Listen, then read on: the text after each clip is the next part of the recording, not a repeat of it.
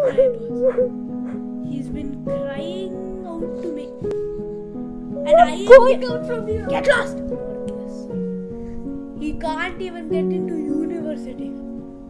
And what he keeps saying, I want to be YouTuber when he can't even get how much? 1000 subscribers in around 10 years.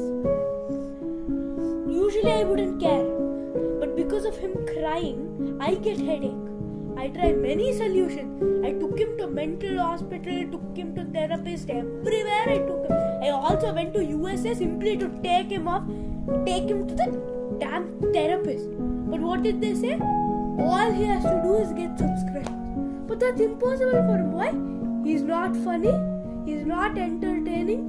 He's a lame nerd. That's all he is. That's why. So, guys, I ask you to get rid of my headache. I don't want to take for him.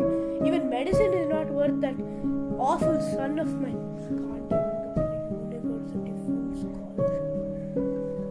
Please subscribe, guys, or else my head will blast. I hope you guys subscribe. I'll see you